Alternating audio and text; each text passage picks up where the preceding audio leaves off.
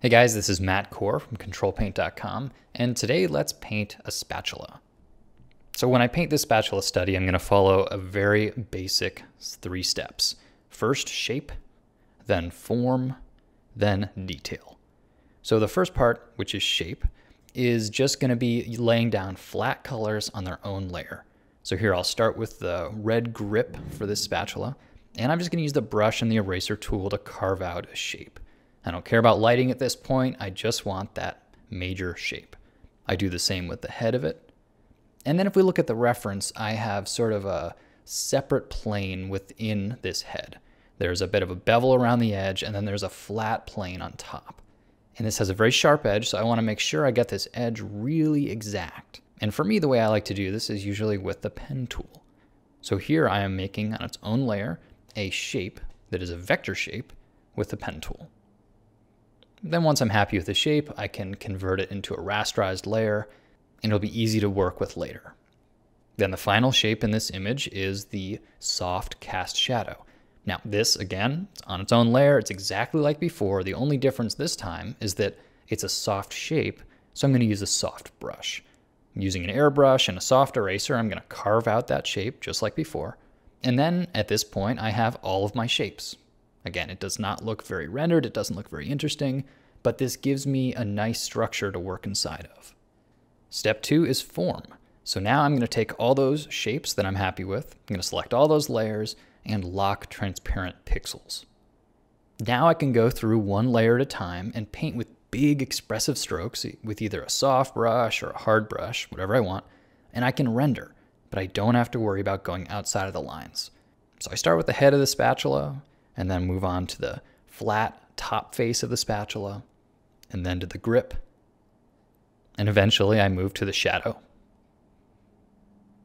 So you can see how much of a breeze it is to do this rendering because I don't have to worry about my edges. First I made the shape, then I locked down the shape, and now I'm just painting in the form information. I'm giving the scene a sense of lighting. But here I realize I forgot the little cutout for where you would hang the spatula on a hook. Well, no problem. So I'll start back to step one, make a new shape. So here I just paint in a flat color. Once I'm happy with the shape, I lock the transparent pixels, and then I can begin adding in form. Of course, as I go through this process, I realize, well, I could have been a little bit better about the shape. So there's a fair amount of refining that I do. Now, if you want to change the shape, you have to unlock the transparent pixels, and then you can use the eraser tool and sharpen it up a bit. And then when you're happy with that again, you lock it down and you can continue working. But eventually you get to a finished rendered form. So here we have the shape done, we have the form done. So we are to step three where we do details. And there's a pretty complicated shape cut into the spoon here. So I'm actually gonna think of it as a flat 2D graphic, and then I'm gonna put it in perspective. So using the pen tool, I start by making the major shape that's gonna be cut out of this. And then I'm going to make copies of that, transform them around to get them sort of looking the right way, and then I make this a single shape. Once I have the shape, then I can put it in perspective, make sure it kind of looks like the reference. And then just like before, I can lock the transparent pixels and begin painting inside of it. Now I'm gonna make a second copy of this shape to do a little bit of a trick here. And I'm gonna make this one white because this is gonna be sort of the background seen through the slots in the spoon.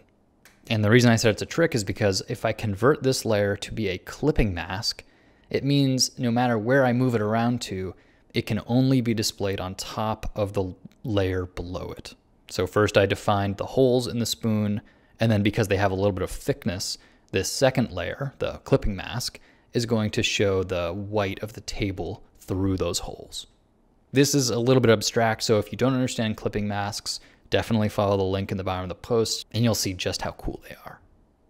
Okay, so with that out of the way, we are finally gonna put the details in the rubber grip of the spatula. So I'm gonna zoom way in for this and on its own layer, I'm gonna paint one single design element. Because if you look, there's a lot of nice repetition here, so why not take advantage? I paint the one, make some copies, rotate them around, scale them up and down, and then before too long, I have a pretty good looking grip. So there you have it. We finished the spatula and it didn't take very long. So really this is more of an example of one way that I like to paint. Is it the only way I paint? Absolutely not. But if you want to paint this way, you're going to need to understand the fundamental skills. You're going to need to understand painting and erasing in equal measure. You're going to need to understand how to lock transparent pixels. And then if you want to do the thing with the cool spoon cutout, you're going to need to know about clipping masks. So I've put links for all of these techniques in the bottom of the post, and I encourage you to watch the videos. So have fun doing your own studies. I don't care whether they're spatulas or space marines. And as always, thanks for coming to the site. Have fun painting.